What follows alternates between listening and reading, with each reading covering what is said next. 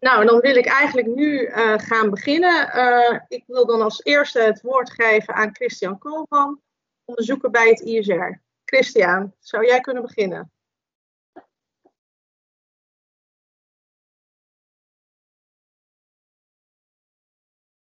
Yes, nou, ik hoop dat die voor iedereen uh, te zien is en te volgen is. Um, nou, zoals gezegd, mijn naam is Christian Koolman. Ik ben lid van de onderzoekscommissie van het ISR. En mij is gevraagd om vandaag wat te vertellen over hoe zo'n onderzoek er nou eigenlijk uitziet. Uh, die wij uitvoeren voor het ISR.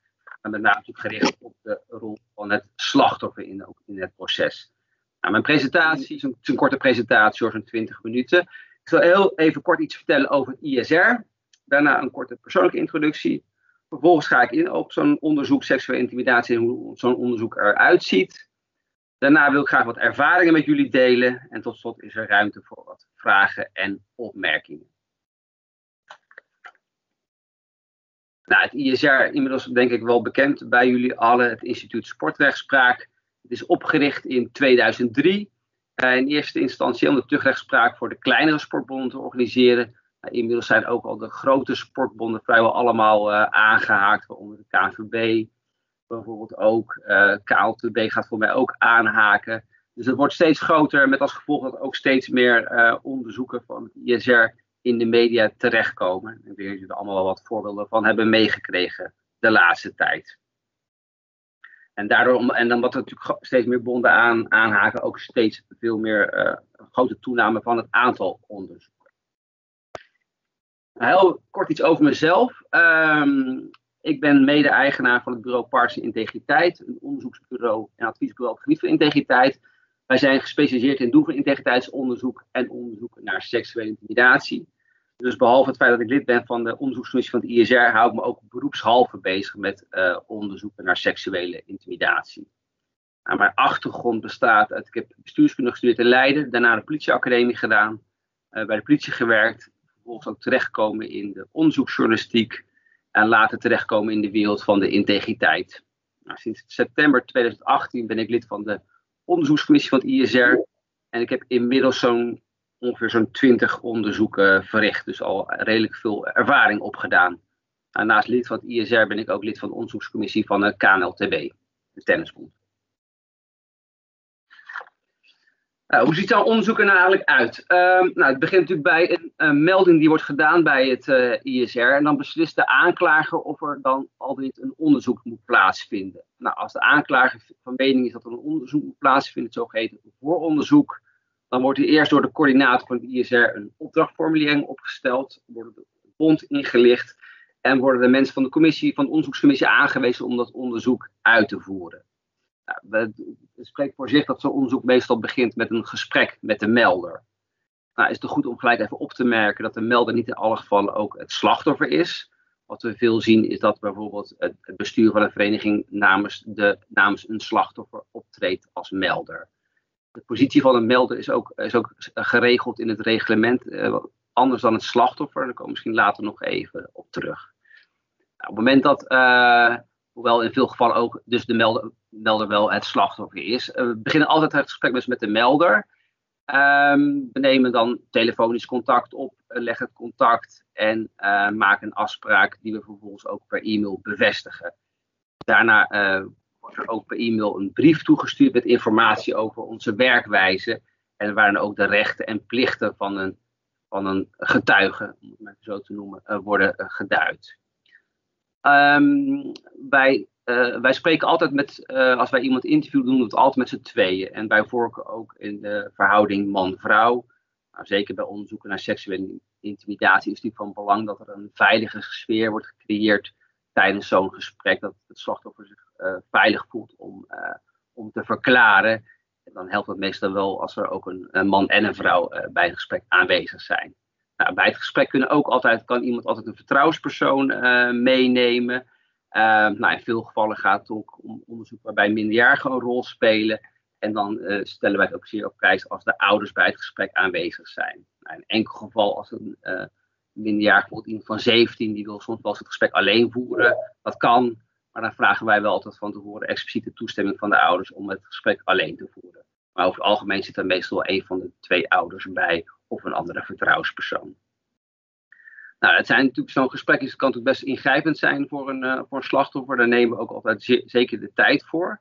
Uh, en zo'n gesprek kan natuurlijk al snel een paar uur duren. Over het algemeen is het zo, wat, wat onze ervaring leert dat als mensen bij de, bij de politie aangifte doen, dat het gesprek nog veel langer duurt. Dat heeft er ook mee te maken dat daar meteen een, een, een um, proces verbaal wordt opgemaakt. Van aangifte of van vermelding. Uh, wat wij doen is, uh, wij maken tijdens het gesprek aantekeningen. We nemen het gesprek ook op. Maar we werken het verslag pas achteraf op, uh, uit. We sturen dan, ehm, zodat het wat sneller gaat tijdens het gesprek. Uh, het verslag sturen wij per, uh, per e-mail daarna vervolgens aan, een, aan, een, aan de getuige toe. in concept kan iemand erop reageren om te kijken van nou, hebben de dingen goed weergegeven of zijn er wellicht dingen verkeerd geïnterpreteerd. Het kan ook zo zijn dat na een gesprek iemand wat te binnen schiet en dat daarvan alsnog dan een melding maakt in het, in het gesprek. Of in het verslag. Um, ja, wat we vaak, de, vaak, de vraag die we vaak dan krijgen van gaat dit verslag nou meteen naar de beschuldigde? Hè, degene die dan de betrokkenen in het onderzoek. Nou, dat is zeker niet het geval. Daar zal ik later ook nog wat over zeggen. Maar in principe blijft het verslag onder ons. Wij hebben een exemplaar als onderzoekers. En uh, de getuige, zeker het slachtoffer, heeft een, een versie van het verslag. En dat wordt verder met niemand gedeeld, behalve uiteraard met de aanklager. De aanklager is ook de leider, feitelijk de formele leider van het onderzoek. De vraag die we ook vaak krijgen, van kan ik nou anoniem een verklaring afleggen? Um, nou, dat, daar bestaat nog eens wat misverstand over. De, en dan hebben we het over de vertrouwelijkheid versus de anonimiteit. Um, wij kunnen een, een, uh, een verklaring niet anoniem opnemen. Dat heeft ermee te maken dat een verklaring dan niet bruikbaar is voor het onderzoek. Want uiteindelijk, uh, iemand legt ergens een verklaring over af dat hij bijvoorbeeld misbruikt is, of er bepaalde handelingen plaatsvonden, of hij is benaderd via sociale media op een ongewenste manier. Um, hij zal daarvan moeten uitleggen wat, hoe dat is gegaan. En die verklaring moet natuurlijk ook kunnen voor, voorleggen aan de beschuldigde, want de beschuldigde moet zich wel kunnen verweren tegen bepaalde beschuldigingen, tegen bepaalde verklaringen. Anders zou, het geval kunnen zijn dat een, dat een onderzoek plaatsvindt op basis van alleen maar anonieme getuigen. Ja, en daar kan een beschuldigde zich niet tegen verweren. Dus een ieder die meewerkt aan een onderzoek, zal zich moeten realiseren dat zijn verklaring op enig moment uh, kan worden gedeeld, uh, uh, in ieder geval ter oren komt van de beschuldigde. En dat betekent dat je dus niet meer anoniem blijft nou ja, op het moment dat wij, um, uh, in veel gevallen is het zo dat, uh, dat in veel zaken is er sprake van meerdere slachtoffers. Niet in alle gevallen, maar het komt vaker voor. Ja, de vraag is van hoe kom je nou in contact met al die slachtoffers? Soms uh, meldt, telt de melder hè, wie er nog meer slachtoffers zijn geweest, omdat hij, er, hij of zij daar weet van heeft. Soms is dat onduidelijk en moet je op gaan naar andere slachtoffers of getuigen. Nou, in sommige gevallen is daarvoor een informatieavond nodig bij een vereniging waarbij uh, bijvoorbeeld een team wordt uitgenodigd of de ouders van uh, bepaalde jeugdleden met de vraag of hij of kinderen ook zijn benaderd door een uh, slachtoffer of last hebben gehad van bepaalde personen. Maar over het algemeen is het zo dat we via via steeds weer in contact komen met, meestal via de melder, die weet wel wie of meer slachtoffers zijn en zo breidt het onderzoek zich uit. Uh, naar, ja, en dan kan het soms best wel groot worden. Hè. Soms begint een onderzoek met één of twee meldingen en eindig je met, uh, met twintig slachtoffers. Dat kun je aan de voorkant nooit voorzien. En dat betekent ook dat je aan de voorkant ook nooit de doorlooptijd van het onderzoek kunt inschatten. Want je weet vaak nooit hoe groot het is aan de voorkant. Nou, naast het horen van getuigen, slachtoffers, probeer je natuurlijk ook vaak aanvullend bewijsmateriaal te verzamelen dat is natuurlijk met name van belang als er maar sprake is van één slachtoffer. Je hebt alleen maar de verklaring van het slachtoffer versus de verklaring van de beschuldigde. Dan is het natuurlijk wel prettig als je daarnaast ook ondersteunend bewijsmateriaal hebt. En dat kan bijvoorbeeld bestaan uit WhatsApp-verkeer, ander verkeer via sociale media, e-mailverkeer, dat soort zaken. Dus het is altijd uh, wel heel fijn als mensen ook hun verklaring kunnen onderbouwen, zeker als er maar sprake is van één slachtoffer. Nou, eigenlijk eindigen we elk onderzoek met een interview met de beschuldigde. Uh, maar het komt ook wel eens voor dat we twee keer uh, met een beschuldigde spreken.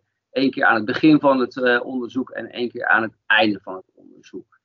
Het voordeel van het twee keer spreken van de beschuldigde is dat als we de eerste keer aan het begin van het onderzoek spreken, dat we gewoon in alle openheid, of in, dat we iemand in alle openheid laten verklaren van, joh, wat is er nou eigenlijk aan de hand? Is er wat gebeurd? Waarvan denk je eigenlijk, waarom denk je eigenlijk dat je hier zit? Um, dan zijn mensen nog wel eens geneigd om niet meteen openheid van zaken te geven. Maar dan weet je ook gelijk van hoe iemand erin zit. En als dan later in het onderzoek blijkt dat er diverse verklaringen zijn afgelegd over iemand. En dat er ook bewijsmateriaal is, bijvoorbeeld uit, bestaande uit WhatsApp-berichten of iets dergelijks. En je legt iemand dan die verklaringen, et cetera, voor. Ja, dan is het voor die persoon, uh, dan is het, ja, die, um, dan weet je in ieder geval van, nou, is hij open geweest in het eerste gesprek, ja of nee. En dat is dan wel een indicatie van hoe iemand erin zit. Want vaak als alles uitkomt, dan wordt er uh, natuurlijk uiteraard altijd spijt betuigd. En de vraag is, ja, hoe oprecht is die spijt? Want als de zaak niet aan het rollen was gekomen, dan was hij, was hij waarschijnlijk ook niet uit zichzelf, uh, uh, had hij de zaak uit zichzelf aanhanger gemaakt en ofwel spijt betuigd. Overigens, alle stappen tijdens een onderzoek worden afgestemd met de aanklager. Dus zoals ik al eerder zei, de aanklager is de leider van het onderzoek. En uh, ja, als wij meerdere mensen willen spreken, meerdere uh, uh, getuigen of meerdere slachtoffers, dan stemmen we dat altijd af met de aanklager. Um, overigens, voordat wij soms is het lastig om met iemand in contact te komen. De vraag is ook van, laat je het via de vereniging lopen of doe je dat rechtstreeks? Dat verschilt nogal. In sommige gevallen um, benaderen wij rechtstreeks andere slachtoffers. Maar in veel gevallen vragen wij of het bestuur van een vereniging een vooraankondiging kan doen van ons, uh, van ons uh, benadering. Zodat dat mensen op de hoogte zijn dat ze willen worden benaderd voor, uh, in, in, in, het kader van een onderzoek. Anders worden mensen nog, kunnen ze nog als overvallen voelen als blijkt van onderzoek, ik weet nergens van, loopt dan ons dan bij deze vereniging. Want er wordt natuurlijk niet altijd rugbaarheid gegeven aan zo'n onderzoek.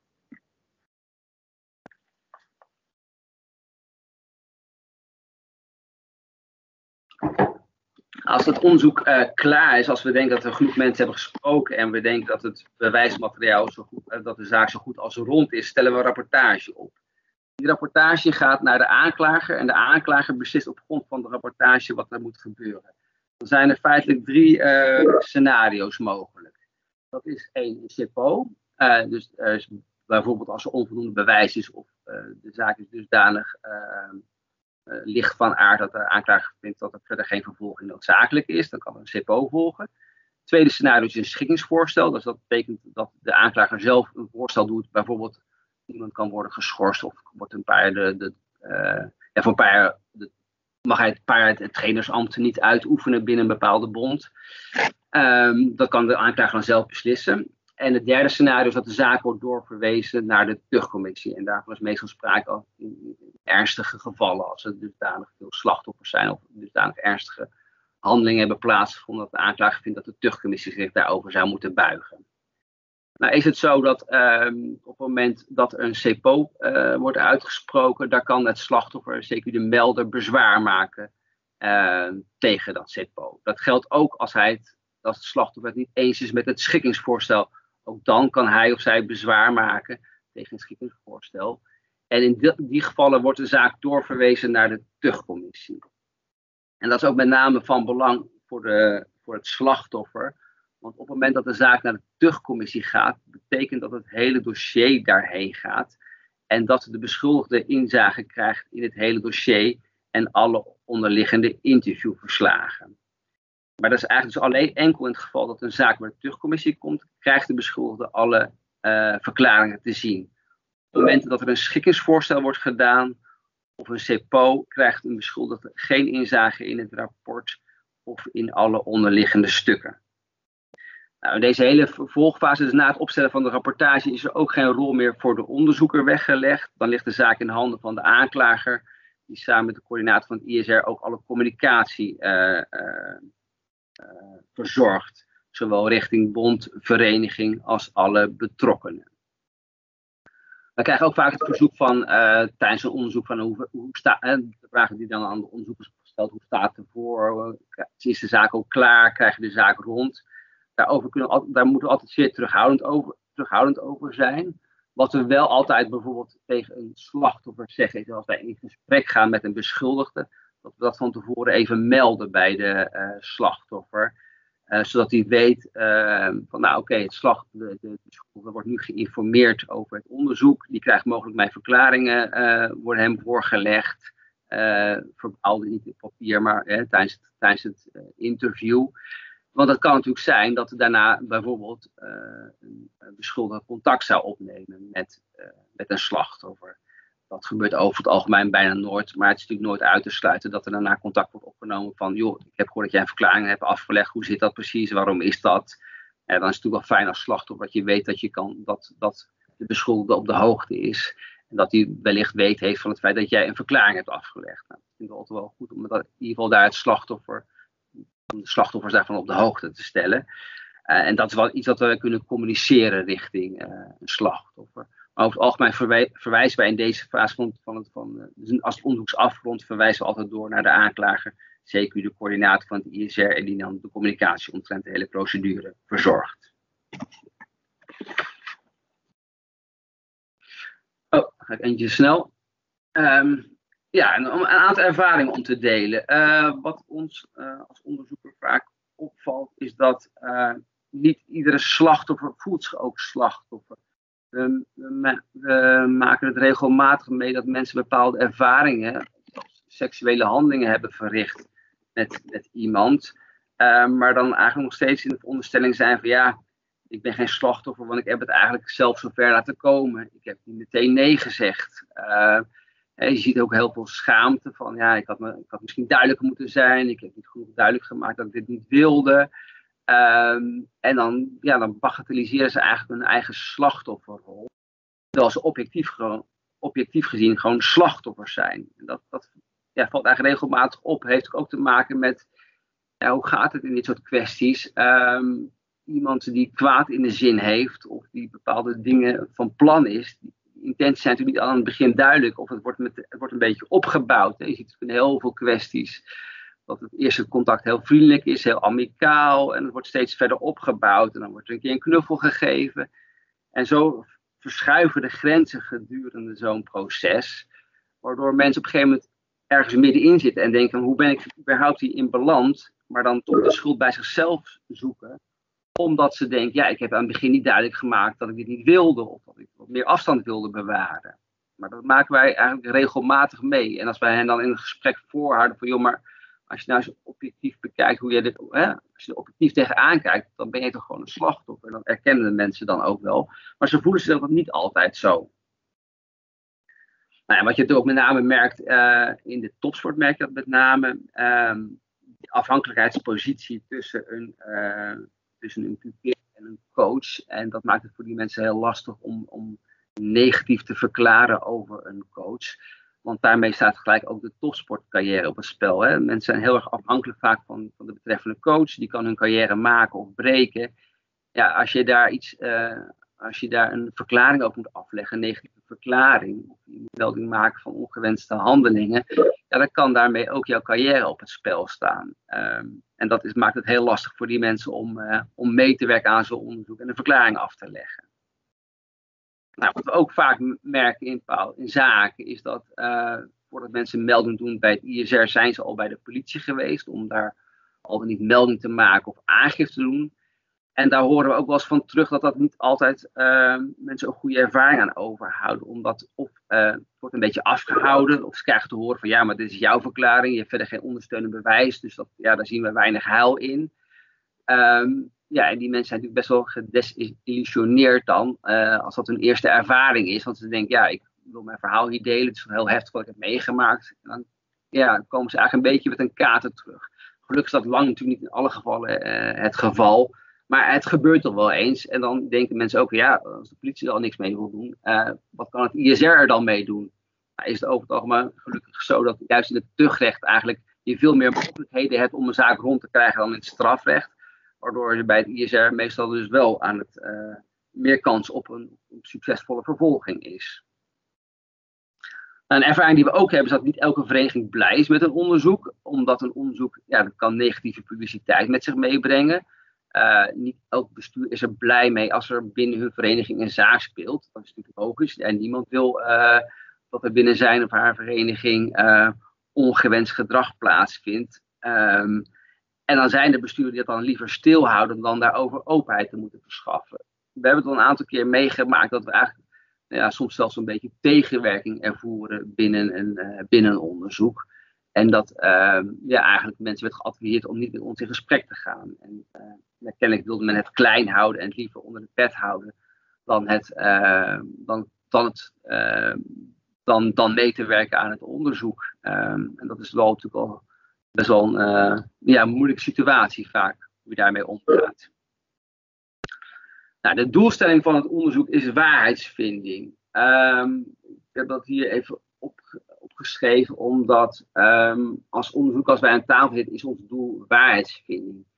Um, wij zijn niet degene die het slachtoffer uh, op weg moet helpen of uh, moet ondersteunen in de verwerking. Dat wil natuurlijk niet zeggen, uh, en dat is ook het laatste punt wat daaronder staat, dat dat je als onderzoeker niet empathisch kunt zijn. Ik denk dat die, die twee zaken wel degelijk samen kunnen gaan. Maar uiteindelijk is het, oh, jouw rol als onderzoeker is de waarheid boven tafel te krijgen. Dat betekent ook dat je soms in een gesprek kritische vragen moet stellen. En dat niet zozeer omdat je twijfelt aan het, uh, aan het verhaal van een slachtoffer of melder. Maar het moet, wel, uh, het moet wel goed worden uitgevraagd. En dat is wel van belang later in het onderzoek ook. Dus soms moet je wat, wat meer doorvragen. Uh, en dan kan misschien een slachtoffer het gevoel krijgen van, hé, hey, twijfelen, die, twijfelen ze nou aan mijn verhaal? Nee, wij moeten gewoon weten, uh, het komt vaak in dit soort onderzoeken op de details aan, want details kun je ook voorhouden aan een beschuldigde. Dus daarom is het wel van belang dat wij als onderzoeker goed doorvragen. Maar die objectiviteit en de empathische benadering, die kunnen heel goed samengaan. Dat betekent wel, hè, als onderzoeker kun je er ook voor zorgen dat je een veilige setting creëert setting tijdens het interview waar de slachtoffer zich, uh, zich op zijn gemak voelt zijn of haar verhaal te vertellen. Um, oh ja, ik zie dat ik nu ook voorbij ga één punt. Um, geen valse meldingen meegemaakt. Wat we vaak horen uh, op het moment dat we een zaak oppakken, is dat, uh, dat we contact hebben met een bestuur. Een eerste gesprek met een beschuldigde. En dat er gelijk wordt geroepen, ja, maar wie zegt nou dat, uh, dat, deze verklaring klopt? Misschien is het wel een valse aangifte of een valse melding. En uh, ja, dan moet je toch wel goed onderzoeken. Ik kan er niet klakkeloos van uitgaan dat, er, uh, dat het waar is wat een melder zegt. Nou, mijn ervaring is, is dat wij, ik heb tot nu toe nog geen, in de 20 onderzoeken die ik heb gedraaid voor de ISR, heb ik nog geen valse, geen valse meldingen meegemaakt. En, uh, en elke melding die ik heb moeten onderzoeken, die berust op waarheid. En ik denk dat het ook van belang is, uh, dat zeggen we ook altijd, iemand doet niet zo meld, maakt niet zo een melding van iets. Daarvoor moet je een enorme drempel overheen gaan. Hè. Daar speelt schaamte een rol. Er spelen meerdere factoren een rol voordat je over wil gaan tot, tot het doen van een melding. Want zo'n onderzoekstraject is natuurlijk voor niemand een leuk traject. Zeker ook niet voor een slachtoffer. Het is wel belangrijk dat een traject plaatsvindt, want we willen allemaal de sport zuiveren van mensen die daar met verkeerde intenties zitten. Uh, maar dat neemt niet weg dat, uh, dat, er, uh, dat het, ja, het moet een getuige in zo'n onderzoek, het moet, het moet een melding maken, is natuurlijk wel een hele heftige gebeurtenis voor een slachtoffer. Ja, en diegene zal wel een hele drempel over moeten om, om zijn of haar verhaal te doen. Oké, even kijken, heb ik nog wat vergeten te zeggen? Nou, vooralsnog volgens mij niet. Zijn er vragen? Ik zal ook de chatfunctie aanzetten.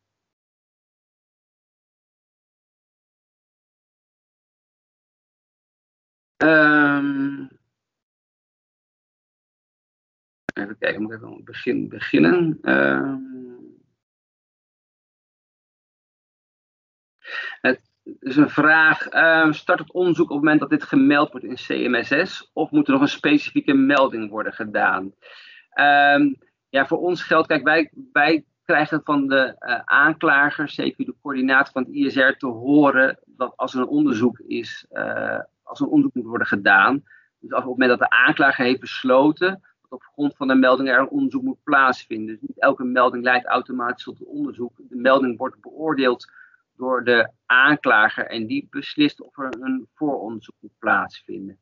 En op het moment dat, dat, uh, dat hij dat heeft besloten, dan start ook het onderzoek. Nou, dat dus ik zie ook een reactie al daarop. Ja. Ehm, nou, ik zie ook een aantal vragen voor de coördinator uh, uh, van het ISR. Die is volgens mij ook online aanwezig. Dus die zou misschien een aantal vragen kunnen beantwoorden. Um, ik zie ook hoe vaak per jaar vindt een dergelijk onderzoek plaats. Nou, er zijn tientallen onderzoeken per jaar vinden er plaats. Uh, even kijken.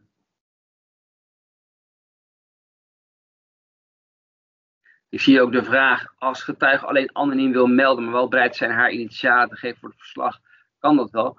Ja, uiteindelijk waar het om, gaat, is dat wij uh, als, als uh, er een bepaalde situatie heeft plaatsgevonden waarbij iemand uh, ongewenst, onheus is bejegend, ja, iemand moet zich kunnen verweren daartegen. Anders ehm, weet een beschuldigde ook niet, ja, waar gaat het dan over? Welke situatie? Wie is dit? En dat betekent automatisch um, dat, dat dat je bekend moet maken wie die verklaring heeft afgelegd, zodat de beschuldigde daarop kan reageren. Dat betekent overigens niet, wij noemen geen namen in onze rapportages, maar uiteindelijk uh, moet het voor een beschuldigde wel herleidbaar zijn wie, uh, uh, wie een verklaring heeft afgelegd. Althans, als iemand ergens van wordt beschuldigd, moet hij daar wel op kunnen reageren. Dan moet het wel duidelijk zijn wie dat dan is en in welk moment iets heeft plaatsgevonden. Kijk, ons ook even naar de app ja, beantwoord, even kijken. Um,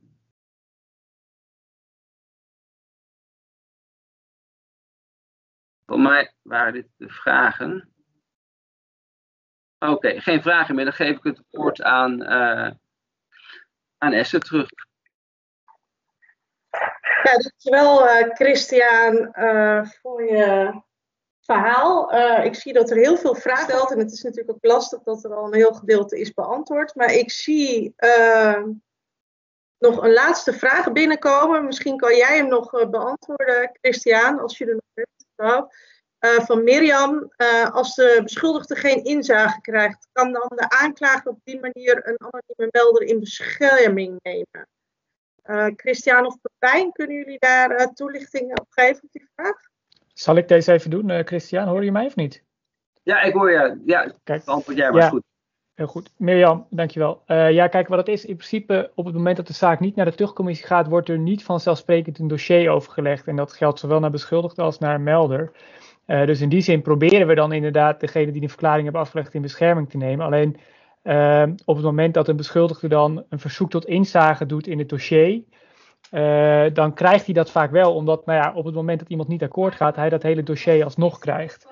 Uh, dus in die zin is het een soort beperkte bescherming dat het misschien nou ja, een klein gedeelte uh, dan geen inzage krijgt, maar we kunnen niet die bescherming bieden voorafgaand dat, dat iemand niet het dossier zou krijgen of dat we iemand zodanig in bescherming kunnen nemen. Ik hoop dat ik je vraag daarmee heb beantwoord.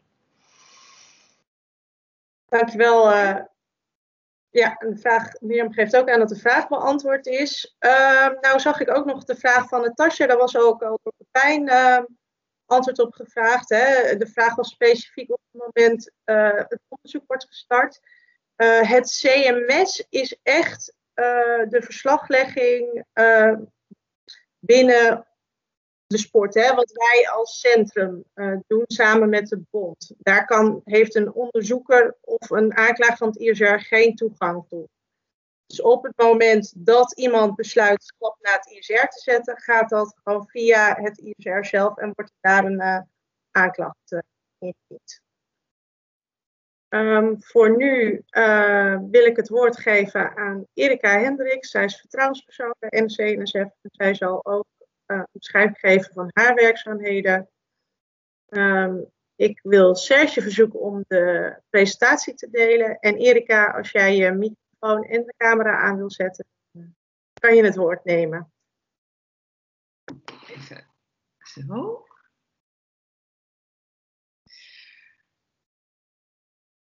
Um, ze is nog jong. Uh, ze heeft nog niet haar eerste vriendje gehad. Ze is heel goed in de sport die ze doet en ze traint zo twee à drie keer per week. Ze heeft al anderhalf jaar last van aanrakingen uh, van haar trainer, die haar in verwarring brengen. Het begon bij uh, steeds een hand in, op haar rug. Uh, waarvan ze al dacht van, ik vind het eigenlijk niet fijn. Daarna hè, bij haar borsten. En dat leek dan nog te maken te hebben met spieren die, die gevoeld moesten worden. Of, of ze die wel goed gebruikte. Vervolgens gingen zijn handen naar haar liesstreek. En um, ze zei, ze gingen steeds verder naar het midden. Ze heeft er al ze heeft er anderhalf jaar niet over durven praten. Ze schaamt zich en ze voelt zich schuldig omdat ze er nooit iets van gezegd heeft. Ze heeft het er alleen met een vriendinnetje over gehad. Die zei: Joh, je moet, dit is echt niet oké. Je moet het er met je ouders uh, over hebben. Een heel goed advies van dat vriendinnetje. Um, maar ja, hè, die stap om met haar ouders te praten, dat is wel een hele grote stap. Ze besluit toch maar dat ze liever wil stoppen met de sport. Mijn naam is Erika Hendricks. Ik ben vertrouwenspersoon bij Centrum Veilige Sport. En um, naast de vertrouwenspersoon in de sport ben ik ook extern vertrouwenspersoon voor werkgevers en studenten. En um, werk ik ook uh, graag uh, aan advies, bewustwording en preventie. Ik wil jullie vandaag meenemen in nou ja, hè, wat, wat, ik, wat mijn werk, in, of ons werk eigenlijk, in, de, in de sport inhoudt. Vertrouwenspersonen in de sport. Dan moet ik even kijken. Um, Serge, mag ik, kan ik zelf. De, oh ja, dankjewel. Um, ik ga even met jullie kijken. Nou, wat, wat, wat, wat, wat, wat, wat, wat is nou belangrijk aan die rol van vertrouwenspersoon? Wat houdt die begeleiding in? Uh, het verschil tussen de vertrouwenspersoon en de vertrouwenscontactpersoon in de sport. En dan heb ik het een beetje uh, ingezoomd op de vertrouwenscontactpersoon van de bond. En um, ja, wat, wat voor mij uh, in mijn beleving de meerwaarde is van de rol van vertrouwenspersoon. Um, even kijken. Uh, ik, um, ik, wat ik net schetste is, is uh, eigenlijk een verhaal uit de praktijk. Hè? Dus het, het um, ik denk dat het heel belangrijk is dat, dat iemand die, die een incident meemaakt, en dan in dit geval in de sport, dat hij zijn verhaal kan doen. Hè? Dat, dat, dat er um, ruimte komt om naar dat verhaal te kijken. En ook, wat is er nou eigenlijk gebeurd? Um, en, en ik als vertrouwenspersoon geef daar eigenlijk een stukje ruggensteun ruggensteun om te gaan kijken wat is er nou gebeurd, hoe duiden we dat, hè? want dat vind ik dat is ook een belangrijke. En um, waar, waar kan je als je uh, slachtoffer bent, waar, waar kan je rekening mee houden? Hè? Waar heb je, uh, wat, wat houdt de begeleiding in? Welke stappen kun je zetten? Uh, welke oplossingsmogelijkheden zijn er? En wat zijn daar de consequenties van? Wil jij even doorzetten, Serge? En um, um, ik doe het nu sinds 1 januari uh, eh, 2019, hè, dus ruim een jaar en best uh, heel veel uh, casuïstiek gehad. Ik heb overigens, wij begeleiden zowel slachtoffers als beschuldigden. ik heb tot nu toe alleen slachtoffers gedaan. En wat ik, wat ik vooral eigenlijk altijd terugkrijg is hè, dat, dat luisterend oor, gezien worden, gehoord worden, en, um, en de, de duidelijkheid, de wetenschap, dat er gewoon iemand meeloopt met, uh, uh, ja, met, met wat je als, als uh, slachtoffer wil doen. En um, wat ik ook heel belangrijk vind, is dat, je, dat het slachtoffer zelf de regie houdt. Hè? ik schets wel, nou ja, hè, wat er gebeurd is, is eigenlijk niet oké. En we vinden eigenlijk dat we in de sport veilig moeten zijn. En er kunnen ook anderen in betrokken zijn. Hè, wat het, maar uiteindelijk beslist het slachtoffer zelf welke stappen die uh, wil en kan zetten. Um, nou, de, dan over de, de begeleiding. Um, wat ik uh, zoal. Uh, het begint eigenlijk altijd met, met het eerste contact leggen. Meestal is dat in mijn geval telefonisch. En dan is meteen de uitdaging voor mij dat, ik, dat ik en de kaders stel, dus gewoon mijn rol toelicht. vertel over vertrouwelijkheid, over. maar ook. Um, de ander uh, laat voelen dat hij welkom is met zijn verhaal. En dat er ruimte is voor het verhaal. En dat vind ik telefonisch nog wel eens een, uh, een uitdaging. Dus ik, ik, geef ook altijd de keuze van uh, wil je het telefonisch of wil je een fysieke afspraak. Die ruimte hebben wij als vertrouwenspersonen ehm, bij Centrum Veilige Sport. Wij gaan, wij kunnen, hè, we kunnen ook fysiek een afspraak maken, naar iemand toe gaan of uh, in de woonplaats van degene een locatie zoeken waar we dan uh, uh, afspreken. Um, Serge, mag ik de volgende sheet? Um, nou ja, hè, ruimte bieden aan het verhaal. Um, Christian zei dat net heel mooi, van ja, sommige, sommige slachtoffers voelen zich geen slachtoffer. Dat merk ik ook vaak. Hè. Er is vaak veel schuld, hè, of hè, schuldgevoel ja, hè, eh, heb ik, ik had wat moeten zeggen of uh, ik ben eigenlijk stilgebleven, ik heb niks gedaan. Um, maar ook uh, schaamte, hè, dat, dat, dat, dat dat gebeurd is. En, meestal ook schaamte voor het zwijgen, hè, want dat, dat, dat is er ook.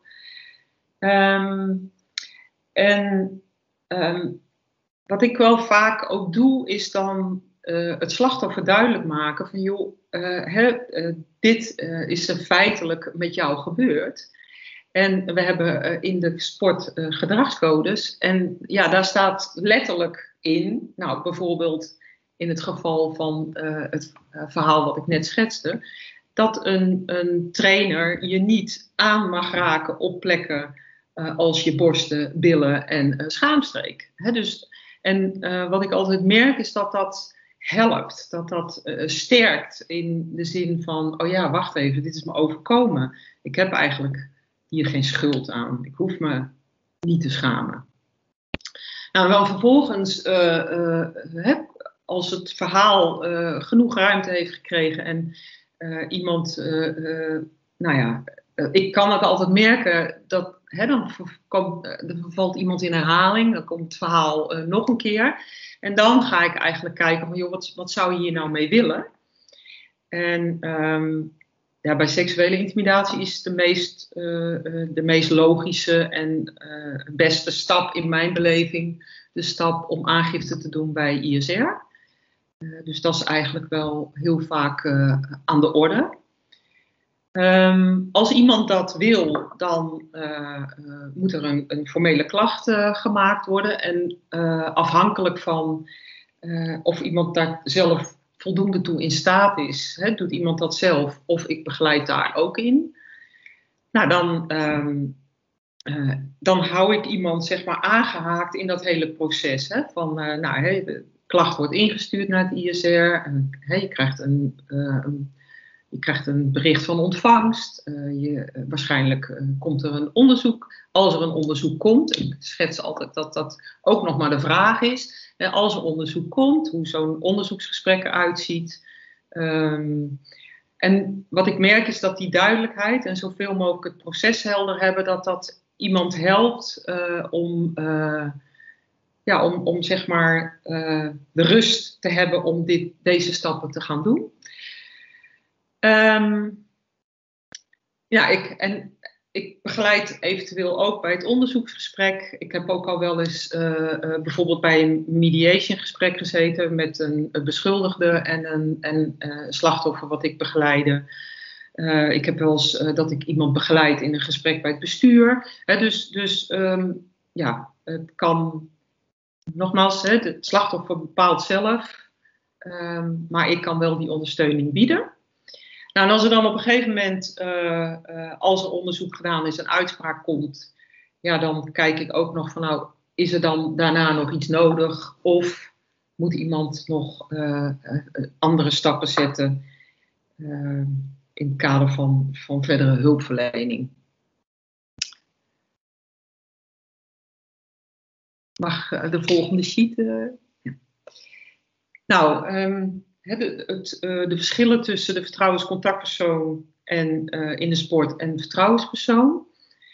Um, nou, er zit al een stukje verschil in, in opleiding. De, de vertrouwenscontactpersoon, zowel bij de vereniging als bij de bond, heeft de optie om een opleiding te volgen via Academie voor Sportkader, de opleiding vertrouwenscontactpersoon.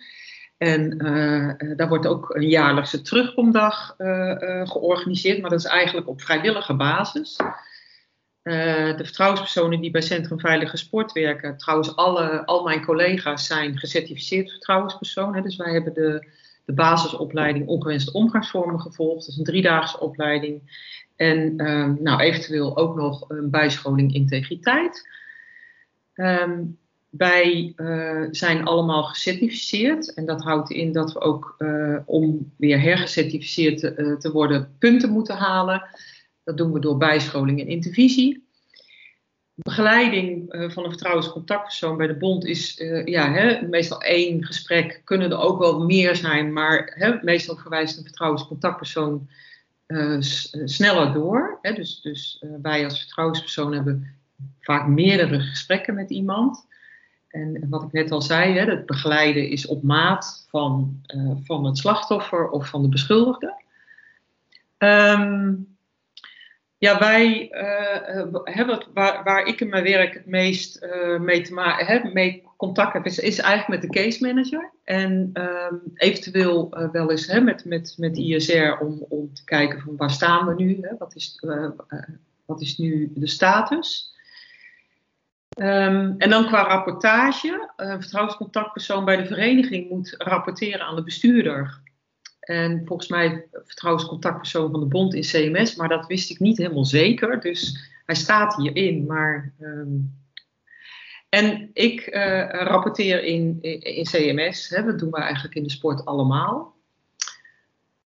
Um, ja, de, uh, en daar hebben we nog, nou de vertrouwenscontactpersoon met de bond kan ook nog met een ordemaatregel te maken hebben. En daar heb ik verder niets mee te maken. Dus uh, dat, dat komt in mijn werk niet aan bod.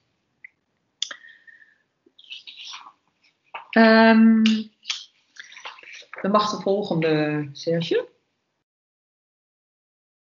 Om dit werk goed te kunnen doen, um, uh, is voor mij heel belangrijk eh, de samenwerking met collega's. Hè. Dus, en, en ik vind dat dat bij Centrum Veilige Sport is het heel fijn dat, dat je nauw samenwerkt met de case manager. Um, sowieso in het team zijn heel veel verschillende kwaliteiten, deskundigheid, uh, expertise, achtergrond aanwezig. Waardoor je elkaar, elkaars kwaliteiten kunt gebruiken. En dat vind ik um, belangrijk. En voor mijn eigen deskundigheid, maar ook in, in de afstemming. Hè, dat iemand soms een heel ander licht laat schijnen. Waardoor ik denk, oh ja, weet je, hè, dat is ook nog een optie. Nou, die onderlinge afstemming en ruggespraak. Hè, ja, ik heb wel eens te maken met casuïstiek die um, heftig is. Hè, en, uh, en je hebt natuurlijk je vertrouwelijkheid en je geheimhouding. Dus, dus ja, uh, ik kan er eigenlijk alleen maar met collega's over praten. En dat is ook uh, fijn. Nou, er is veel aandacht voor verdere professionalisering en voor vergroten van deskundigheid. Maar vooral uh, is, is voor mij, uh, ja, wat ik fijn vind, is dat wij als team samenwerken aan preventie, aan bewustwording. En ja, ik vind altijd heel mooi dat we recht doen aan alle betrokkenen bij een incident. En dat, um, dat is een beetje dat is mijn drijfveer. En daarnaast dat ik zie als ik iemand um, begeleid, dat er in eerste instantie uh, dat iemand uit zijn kracht is uh, door schuld, schaamte of door wat er gebeurd is, hè, door wat hem overkomen is. En dan doordat er lucht komt, hè, doordat er ruimte komt aan het verhaal, doordat het uh, duidelijk wordt dat het iemand overkomen is, dat hij weer in zijn kracht komt, de regie neemt en um, ja, daardoor uh, weer gaat staan. En dat uh, vind ik heel mooi om daar een stukje in mee te lopen. Mag de volgende, Serge? Ja, de meerwaarde van de vertrouwenspersoon uh, is dus wat mij betreft hè, dat, dat eh, dat het uh, slachtoffer zich gehoord en gezien voelt. En dat geldt natuurlijk ook voor een beschuldigde. Hè. Die heeft ook recht op, uh, op de begeleiding van een vertrouwenspersoon. En die moet ook gehoord en gezien worden. Dus dat, is, dat is eigenlijk voor, voor die partijen van belang. Um, die ruimte voor de schuld en de schaamte. Ik, ik denk dat het goed is om, om daarover te praten, maar ook om helder te krijgen van ja, is dat wel reëel dat ik dat voel? Um, mag de volgende sheet, Serge? Um, en die helderheid gedurende dat hele proces, hè, wat, wat ik nu wel zie, is dat, dat zaken soms wat langer lopen en dan met name jonge uh, jonge mensen vinden dat best wel moeilijk hè, om, om zo lang te wachten. En die krijgen dan tussendoor toch weer het gevoel van, ja, zouden ze me nou wel geloven? Of uh, uh, ja, worden dan toch weer angstig. Hè, dus dus um, ik kan daar ook iets in betekenen, hè, door steeds de helderheid te verschaffen over, ja, waar staan we nu? Hè, of welke stappen zijn er nu? Of hoe lang, met welke tijdspannen moet je rekening houden? En um, ja, ik, ik, ik heb ook, uh, ben ook bij onderzoeksgesprekken geweest en, en die zorgvuldigheid van het onderzoek, dat vind ik dat is ook heel belangrijk. En um, ik vind het ook fijn dat ik dat weet, dat ik dat ook aan iemand kan schetsen. En volgens mij hebben we wel met z'n allen de uitdaging om te zorgen dat de procedures um, goed zorgvuldig en snel blijven, ja, blijven verlopen. Ook met uh, alle extra, al het extra werk wat er nu is. En ik begrijp zelf heel goed dat dat ehm, soms moeilijk is. Maar ik merk wel aan, aan degene die ik begeleid dat dat wel het proces extra zwaar maakt. Um, zijn er. Oh, ik ga even kijken naar de vragen. Um, nee, ik, een, een, als ik een slachtoffer begeleid, dan kan ik in dezelfde zaak nooit een uh, beschuldigde begeleiden. Daar wordt dan een andere vertrouwenspersoon uh, aangekoppeld. En het is ook zo dat wij dan van elkaar niet weten. Hè, dus wij hebben geen inzage in elkaars dossiers. Dus ik heb alleen maar mijn eigen dossier, waarin ik vastleg uh, uh, wat, wat, wat er is in mijn begeleiding, maar ik kan dat niet zien van andere vertrouwenspersonen. Um, even kijken hoor.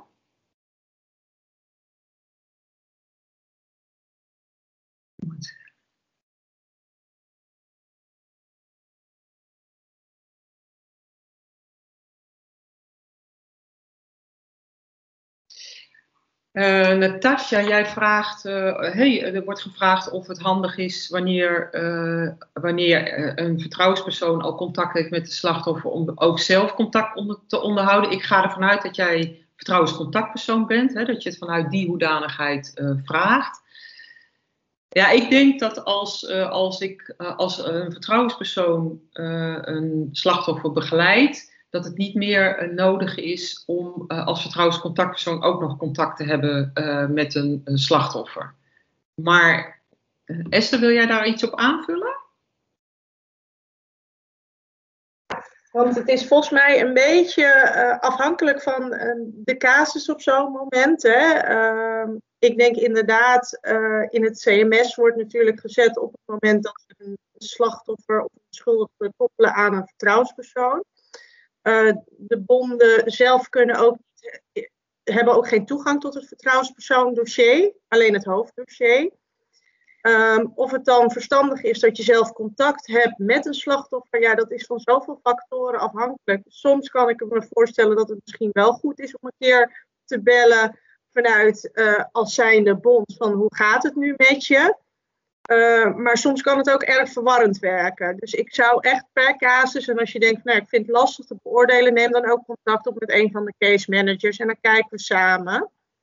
En, en dat geldt eveneens voor een beschuldigde. Ja. ja. Even kijken hoor. Volgens mij zijn alle vragen nu aan bod gekomen. Erika, Greetje Daan uh, vraagt nog: overweeg je ooit het, uh, het inzetten van herstelbemiddeling? Uh, ja, daar heb ik wel eens, heb ik wel eens overwogen. en dat is dan uiteindelijk um, door begeleiding vanuit de bond die betrokken was, een mediation gesprek geworden. Maar ik heb het wel overwogen. Ik weet, nou, ik weet dat het er is en, en ik denk dat het in veel gevallen ja, heel uh, nuttig kan zijn. Dus uh, dat overweeg ik wel, maar ik heb het nog niet echt, ik heb niet ooit iemand al doorverwezen. Goed. Um, uiteindelijk heeft ze dan haar ouders verteld. En ga ik met haar in gesprek. En ze heeft nog geen woorden voor wat haar overkomen is. Uh, ze is bang dat haar vader naar de trainer gaat uh, en uh, hem wellicht iets aandoet. Ze is bang dat ze zelf met de trainer moet gaan praten en dat hij zegt dat ze alles verzonnen heeft. Ze heeft nachtmerries. En um, toch vertelt ze haar verhaal met horten en stoten. En af en toe moet ik minutenlang stil zijn om haar de woorden te laten vinden die, die nodig zijn om het verhaal te vertellen. En uh, uiteindelijk, na wat gesprekken en uh, als ik haar uitgelegd heb dat er in de gedragsregels staat dat die aanrakingen niet bij haar sport horen, maar dat die aanrakingen niet mogen. Hè? Dus niet bij borsten, niet in de schaamstreek. Dan realiseert ze zich, oh ja, het kan anderen ook overkomen. En ze besluit aangifte te doen. Ik heb haar begeleid bij het onderzoeksgesprek en ze zat vier rechtop en gaf antwoord op de vragen. En ik dacht, wow, mooi om te zien hoe zij gegroeid is uh, tijdens uh, uh, dit hele proces. Dank jullie wel voor jullie aandacht. Dankjewel Erika voor je mooie verhaal. Ik zie nu nog dat er in de chat een vraag voor het ISR binnenkomt. Oh, en Pepijn is al met een antwoord gekomen.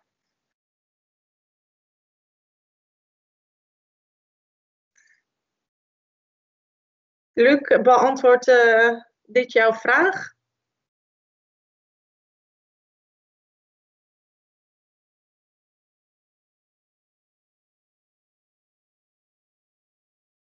Nee, uh, Esther, dat beantwoordt nog niet mijn vraag. Ik uh, antwoord even zo, want anders moet ik ja. heel snel typen. Is goed. Uh, in het reglement van het ISR staat namelijk dat uh, vanaf het uh, in de eerste aanleg behandelen van een casus, dat dan het traject ongeveer een half jaar duurt. En daarom is mijn vraag, is zeg maar een, dat traject is het zeg maar ook van toepassing bij een schikkingsvoorstel? Die half, dat half jaar. Ik zie, Pepijn, ik zie Pepijn oprichten. Ja, dat zou kunnen.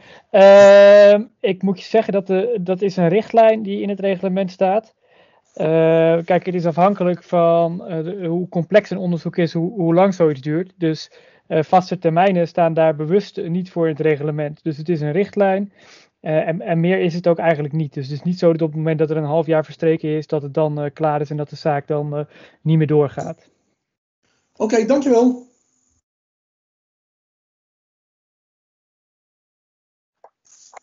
Oké, zijn er uh, nog meer uh, vragen die gesteld uh... Oh, er komt er nog één. Henriette van de Weg in de chat. Uh, Pepijn, kan jij deze vraag beantwoorden? Ja, momentje. Uh, ja, wat, wat, het is een hele actuele vraag. Uh, omdat daar nu iets loopt bij onze commissie van beroep. Dus ik heb uh, er nog geen jurisprudentie over. Maar als ik het je zo zou beantwoorden, uh, staat er op dit moment in het reglement dat alleen de melder in beroep kan tegen een, nou ja, en de, en de beschuldigde vanzelfsprekend. Ehm, maar dat dat, en dus de aanklager, de melder en de beschuldigde kunnen in principe in beroep gaan tegen een oordeel van de tuchtcommissie of een schikkingsvoorstel. Ehm, het is op dit moment de vraag of de bond ook in beroep kan gaan. Daar uh, zal de commissie van beroep zich uh, op korte termijn over gaan buigen. Oké, dus daar gaan we nog het antwoord op horen waarschijnlijk binnen enkele tijd.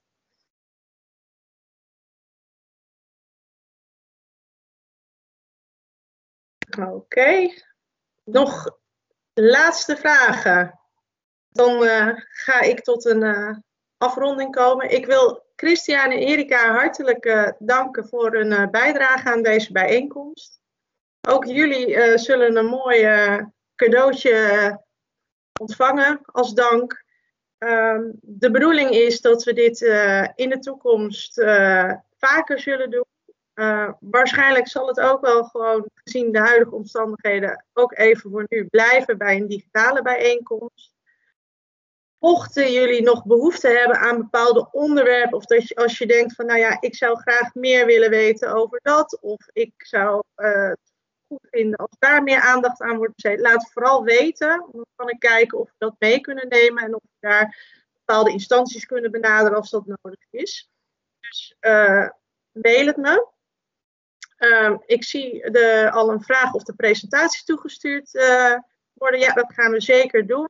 Uh, net zoals vorige keer zullen jullie, eh, zodra de opname is bewerkt, ehm, de vraag, de presentaties en de link naar de webinar eh, krijgen.